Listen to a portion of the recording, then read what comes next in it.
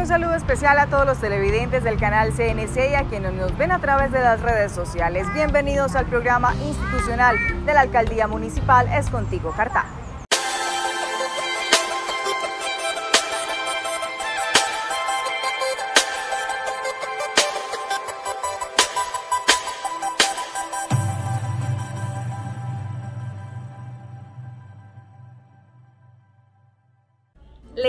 Estamos apostando a el arte y la cultura. Porque somos la cuna del talento. A través de diferentes talleres como la música, la pintura, la danza folclórica, la chirimía, la guitarra, arpa, cuatro y maracas, batería, el tejido, el bordado, teatro, la trova, talla y escultura en madera, las manualidades, arte en papel machín, juegos tradicionales, arte circense.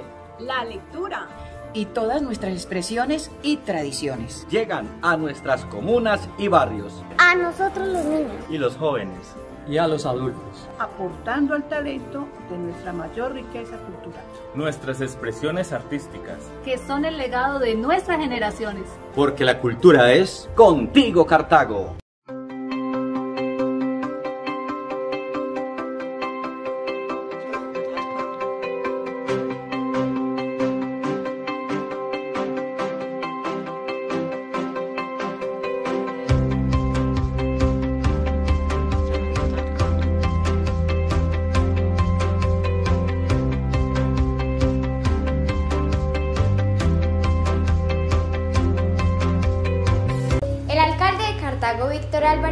Siguiente invitación. Lava tus manos frecuentemente durante todo el día. Haciéndolo reducimos hasta el 50% de infecciones respiratorias, incluyendo el coronavirus. Primero, deposita en la palma de la mano una cantidad de jabón suficiente para cubrir toda la superficie de las manos. Segundo, frota las palmas de las manos entre sí. Tercero, frota la palma de la mano derecha contra el dorso de la mano izquierda, entrelazando los dedos, y viceversa. Cuarto, frota las palmas de las manos entre sí, con los dedos entrelazados. Quinto, frota el dorso de los dedos de una mano con la palma de la mano puesta, agarrándote los dedos. Sexto, frota con un movimiento de rotación el pulgar izquierdo, atrapándolo con la palma de la mano derecha y viceversa. Séptimo, frota la punta de los dedos de la mano derecha contra la palma de la mano izquierda, haciendo un movimiento de rotación y viceversa. Octavo, listo, tus manos están seguras. Recuerda, la mejor prevención está en tus manos. Es contigo Cartago, Víctor Álvarez Alcalde. Uso del tapabocas. No toque la parte de adelante del tapabocas. Quítese el tapabocas alando las bandas, sin tocar el tapabocas. El tapabocas debe cubrir siempre boca y nariz. Jamás bajarlo hacia el cuello. La salud es contigo, Cartago. Víctor Alfonso Álvarez, alcalde. Aprende a recibir domicilios en la puerta de tu casa y evita el coronavirus. Paso 1.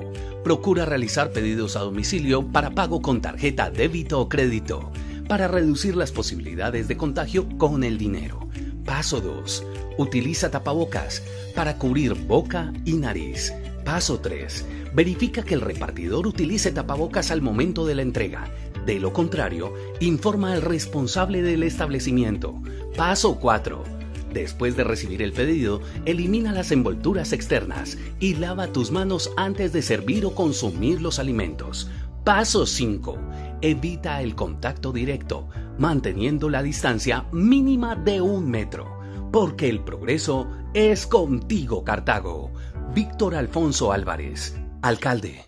El gobierno del alcalde Víctor Álvarez está comprometido con convertir nuevamente a M Cartago en una empresa sostenible, moderna y orgullo de los cartagüeños. Por ello participó en días pasados de la suscripción del programa de gestión entre las Superservicios y M Cartago.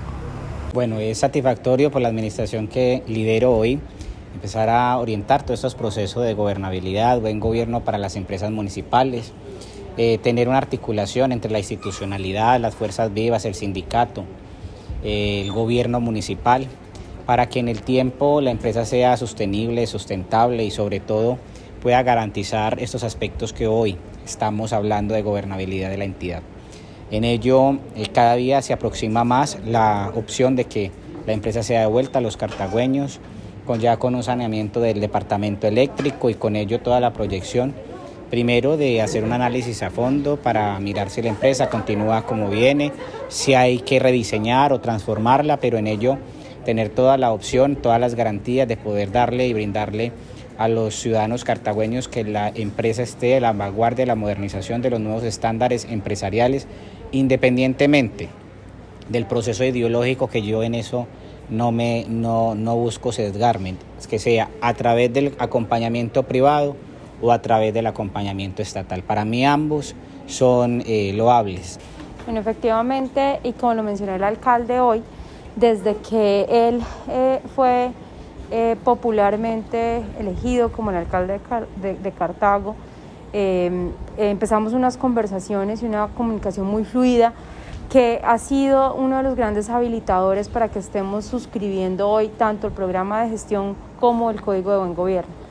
Gracias a las gestiones desde el gobierno local, los polideportivos de los barrios de Los Rosales y La Aurora nuevamente cuentan con iluminación.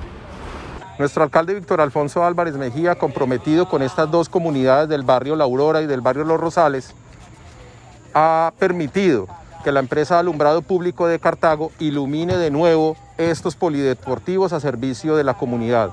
Todo esto ha sido acompañado de varios líderes comunitarios, concejales y toda la comunidad que durante varios meses ha solicitado que esto se ilumine.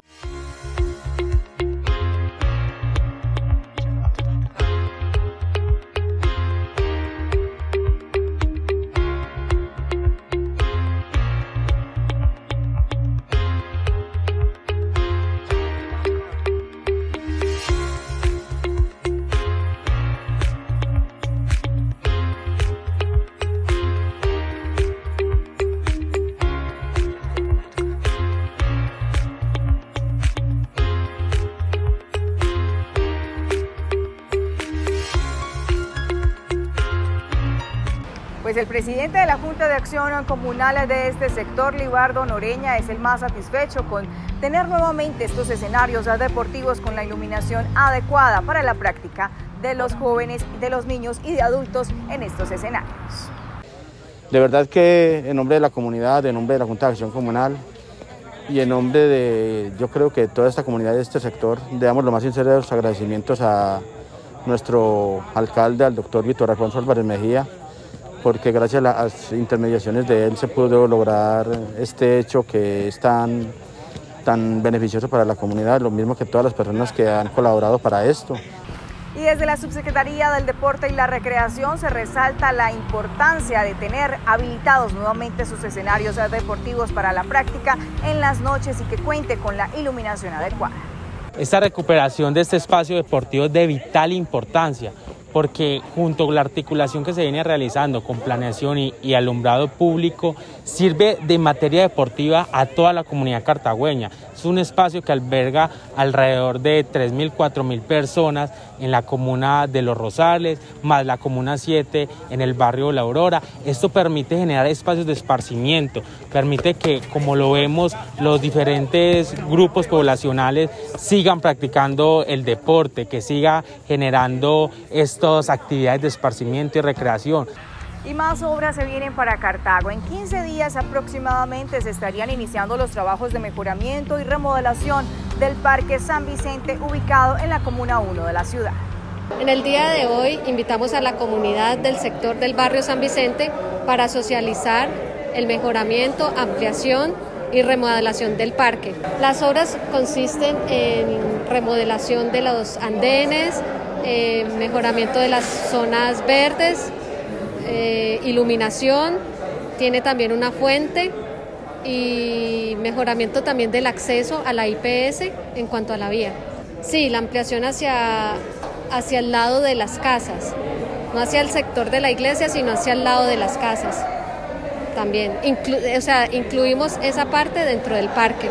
Las en este momento el proyecto está ya en pliegos, eh, estaríamos contratando yo creo que la otra semana y la siguiente semana, en 15 días aproximadamente, iniciaríamos con las obras. El tiempo de ejecución de las obras es de 45 días. Lo primero es agradecerles porque de verdad están respondiendo a una necesidad y a una solicitud de la misma comunidad.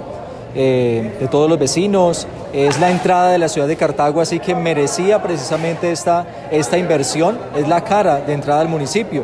Y pues de verdad felicitarlos porque es un proyecto elaborado con muy buen gusto, sé que es algo muy, muy bonito y para la ciudad va a ser algo muy, muy representativo.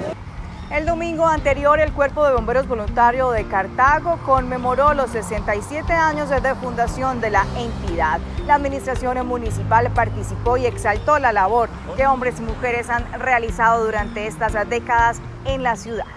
Nuestra fecha de fundación es el 5 de mayo de 1953, pero pues debido a esta emergencia sanitaria no habíamos podido celebrar nuestro aniversario. Este mes de noviembre eh, se celebra el 11, el, Día Nacional del Bombero, entonces por eso quisimos hacer el aniversario en este mes. Queremos agradecer al, a la administración municipal en cabeza del doctor Víctor Álvarez porque ha sido un apoyo constante para nuestra institución, nos ha fortalecido con una bomba para una máquina extintora. Entonces, bomberos, los bomberos de Cartago están muy agradecidos con el doctor Víctor Álvarez y en esta emergencia sanitaria también nos ha apoyado con equipos de bioseguridad para que nuestros bomberos estén bien eh, equipados atendiendo esta emergencia sanitaria. Por parte de la Administración Municipal eh, hay un reconocimiento, un sentido homenaje de felicitaciones también a la institución. Son el sexagésimo séptimo aniversario del Cuerpo de Bomberos, un cuerpo de bomberos que su misma palabra de benemérito es un adjetivo de exaltación, de meritorio, un, adjetivo que eh, mira todo lo que el cuerpo de bomberos le ha dado al municipio de Cartago, no solamente en las acciones que tienen que ver con las acciones de riesgo, con el tema de incendios, accidentes, sino también con esa formación de los jóvenes bomberos en la ciudad de Cartago. Desde la Oficina de Gestión del Riesgo, a través de la Administración Municipal, encabezada por nuestro, por nuestro señor alcalde, Víctor Alfonso Álvarez, reitera el compromiso de fortalecer a los organismos de socorro, tanto al Cuerpo de Bomberos como Defensa Civil y Cruz Roja. Hoy y hace días recibimos una noticia muy importante para nuestro municipio que fue fortalecer el Cuerpo de Bomberos con unas unidades unas máquinas las cuales van a garantizar la respuesta inmediata ante las emergencias del municipio. En Cartago se está realizando un censo a los habitantes de calles. Lady Catalina Vivero, secretaria de Gobierno Municipal, nos entrega detalles del objetivo de este censo que realiza el DANE. Respetando todos los protocolos de bioseguridad de una manera amable, cordial y respetuosa, atendiendo las directrices impartidas por el señor alcalde las Secretarías de Salud, Planeación y Gobierno conjuntamente adelantamos un censo a la población habitante de calle en compañía de la Policía Nacional. El censo de habitantes de calle es un insumo muy importante para informarle al Departamento Nacional de Estadísticas DANE con el fin de adelantar políticas públicas que beneficien a esta población. Hoy se adelantaron 55 censo o caracterización que serán reportadas a este departamento tan importante a nivel nacional. La Administración Municipal, a través de la Casa de Justicia, en conjunto con Valle y el Enlace Municipal de Mujer, Equidad de Género y Diversidad Sexual, realizan una articulación para la inscripción a la convocatoria que hace la Gobernación del Valle Somos Invencibles para la reactivación económica. Nosotros estamos socializando la convocatoria eh, de la Secretaría de la Mujer y Equidad de Género, eh, la cual va a incentivar la economía de todo el Valle del Cauca para la reactivación económica de emprendimientos que sean eh, de mujeres o de población que esté en equidad de género. esta convocatoria cierra el domingo. El día de hoy estamos realizando inscripciones en la Casa de Justicia. Eh, la verdad es que hemos sentido mucho el apoyo eh, acá porque nos han congregado muchas mujeres eh, de la comunidad que están muy interesadas en reactivar sus negocios, en recibir recursos. Desde la Red Diversa Norte del Valle venimos en articulación con Casa de Justicia y Fondo Valleín realizando apoyo a la reactivación económica.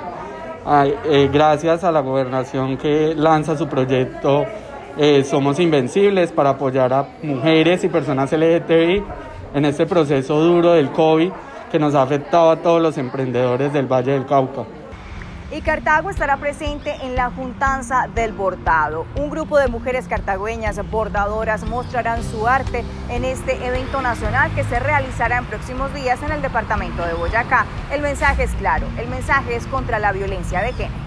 Nos unimos a la, a la, a la Juntanza del Bordado Nacional. Esto fue una propuesta de unas chicas de Boyacá para notar a través del arte de nuestro bordado en contra de la no violencia, de todo tipo de violencia, no solamente de género, sino contra los niños, contra los hombres y aún nuestra propia violencia. Eh, Cartago se une, ya habíamos hecho como una invitación y ahora estamos mostrando que se representó a través del bordado, cómo nuestras bordadoras quieren expresar a nivel nacional que no estamos de acuerdo con la violencia y queremos que nuestro arte se muestre como algo lindo en pro de, de la paz. ¿Y cómo está Cartago en materia de esta pandemia? ¿Cómo están las cifras de COVID-19 en la ciudad? Nuestra compañera Natalia Parra se encuentra con la secretaria de Salud Municipal, Mónica Orozco, y ella nos entrega detalles de cómo está la situación en la ciudad. Hola Alejandra, ¿qué tal? Un saludo muy especial para usted y para todos los televidentes que nos ven el día de hoy. Hoy como invitada especial tenemos a la secretaria de Salud, la doctora Mónica Orozco, quien nos viene a hablar acerca de cómo eh, transcurren los casos de COVID en la ciudad de Cartago y darnos todas las recomendaciones especiales para estas fechas que se vienen, que claro está que eso también son fechas de contagio. Doctora, bienvenida a nuestro programa. Eh, cuéntenos un poco acerca de cómo están eh, las cifras de contagio en Cartago sobre el COVID. Bueno, un saludo para ti Natalia, para Alejandra y todas las personas que nos ven. Pues a la fecha de hoy llevamos procesadas 7.350 muestras, de las cuales 1.383 son positivas. Tenemos activos 390, recuperados 947, fallecidos 46. Por comunas, eh, la comuna más contagiada hasta el momento ha sido la comuna 2 con 97 pacientes activos, la comuna 1 con 42, la comuna 3 con 14, la comuna 4 con 52 pacientes activos, la comuna 5 16, la comuna 6 77, la comuna 7 84 y en la zona rural 8. La recomendación cuál es? Si bien es cierto, nosotros en conjunto con las EPS hemos estado buscando los pacientes porque a través también del PIC municipal tenemos auxiliares que están yendo casa a casa buscando asintomáticos respiratorios. Cuando encontramos alguna persona con posibles síntomas, eh, hacemos la gestión con su EPS para que le tomen la prueba. Cuando uno busca, encuentra. Pero también hemos detectado que se han incrementado los contagios porque las personas creen que a partir del primero de septiembre el COVID se fue y simplemente fue porque se dio la apertura económica, porque tenemos que impulsar todos esos sectores a nivel nacional, departamental y municipal pero el COVID está entre nosotros. Entonces, la utilización del tapabocas, del distanciamiento social, el constante lavado de manos es fundamental y necesitamos que en las reuniones familiares y más ahora que viene la temporada de, de diciembre, nosotros somos muy amigos de las reuniones familiares y amigos pero este elemento, el tapabocas, tiene que estar presente allí, solo no lo podemos quitar cuando estamos comiendo, tratar de que cuando estamos comiendo no hablemos, inmediatamente terminamos de comer, utilizarlo nuevamente. Claro que sí, estas recomendaciones son muy importantes, doctora. En temas de hospitalario, ¿cómo estamos en cifras? ¿Está la, la capacidad? ¿Cómo, ¿Cómo vamos? Bueno, en el tema de la UCI eh, hemos tenido, eh, hemos llegado hasta el 80-85% de ocupación. Otros días sí hemos tenido entre el 60 y 50%. Eh, en el tema de hospitalización básica hemos tenido una ocupación del 65-70% pero ese es el llamado también a la comunidad. Desafortunadamente, algunas de las personas que se han contagiado han tenido que eh, llegar a una UCI y hay días en donde efectivamente nos ha tocado trasladarlos a otras ciudades.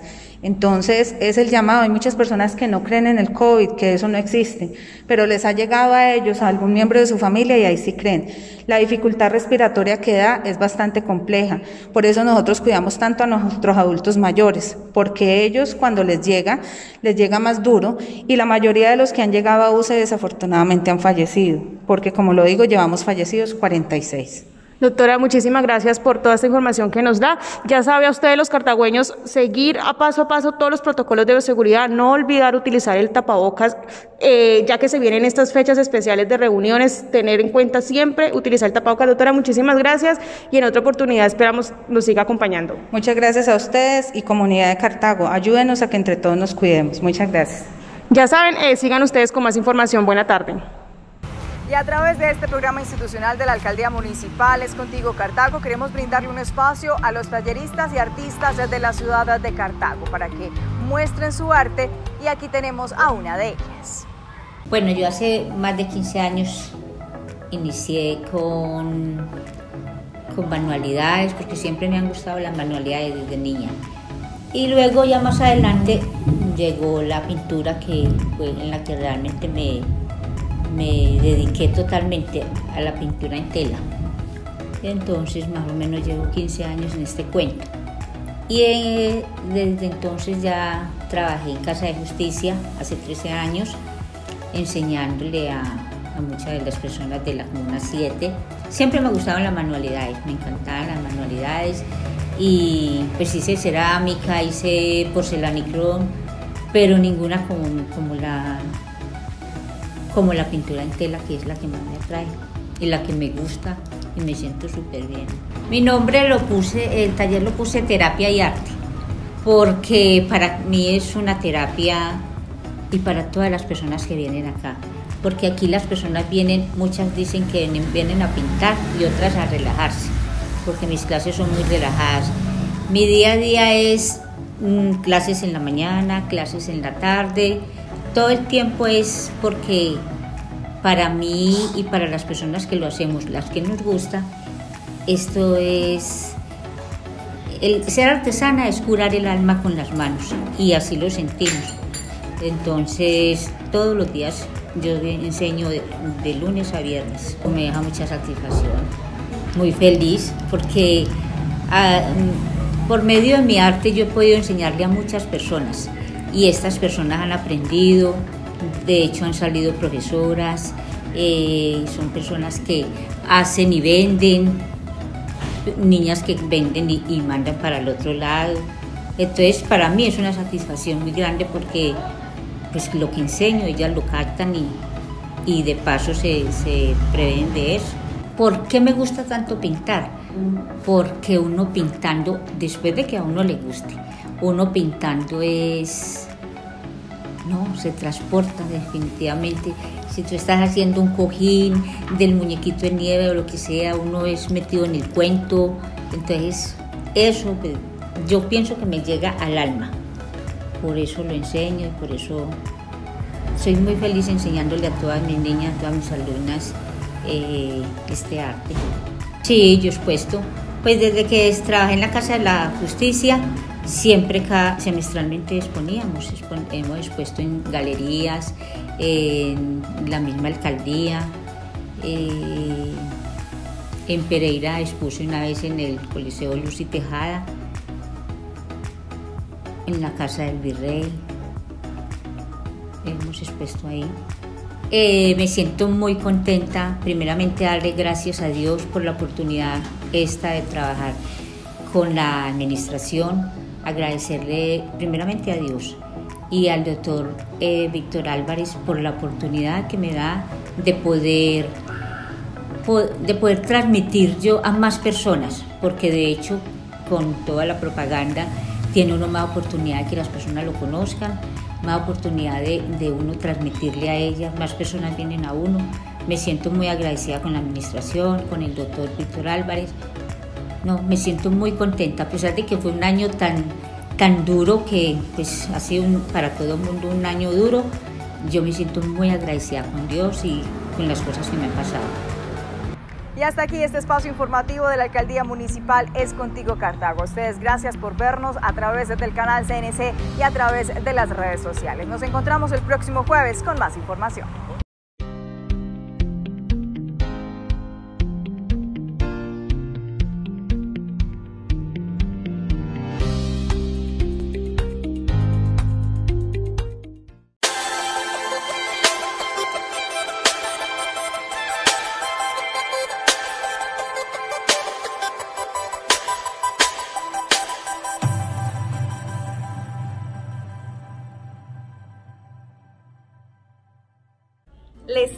Apostando a el arte y la cultura. Porque somos la cuna del talento. A través de diferentes talleres como la música, la pintura, la danza folclórica, la chirimía, la guitarra, arpa, cuatro y maracas, batería, el tejido, el bordado, teatro, la trova, talla y escultura en madera, las manualidades, arte en papel machín, juegos tradicionales, arte circense, la lectura y todas nuestras expresiones y tradiciones. Llegan a nuestras comunas y barrios. A nosotros los niños. Y los jóvenes.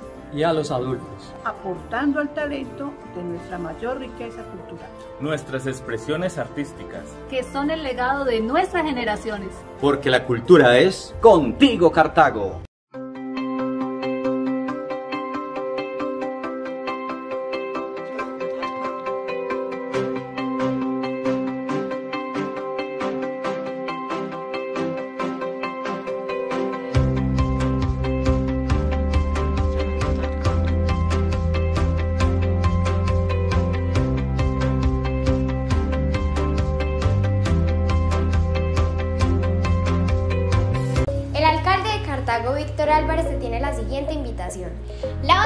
Frecuentemente durante todo el día.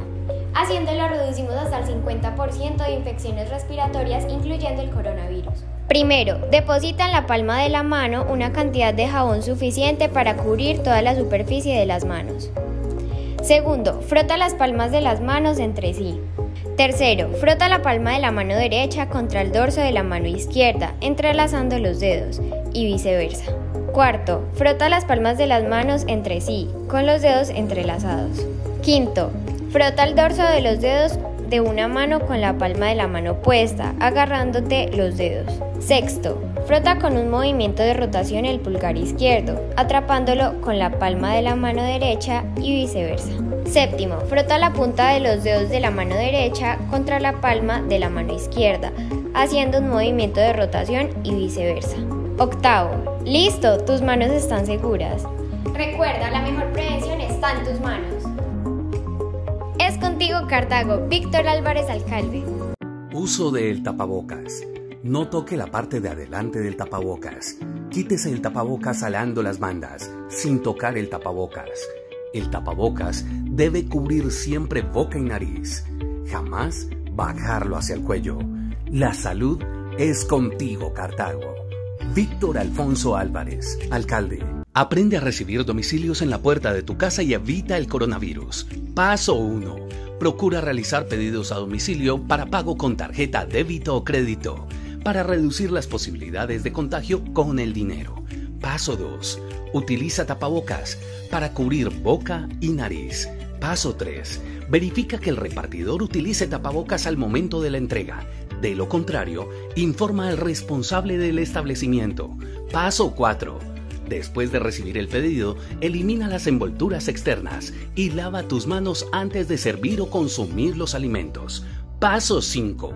Evita el contacto directo, manteniendo la distancia mínima de un metro. Porque el progreso es contigo, Cartago. Víctor Alfonso Álvarez, alcalde.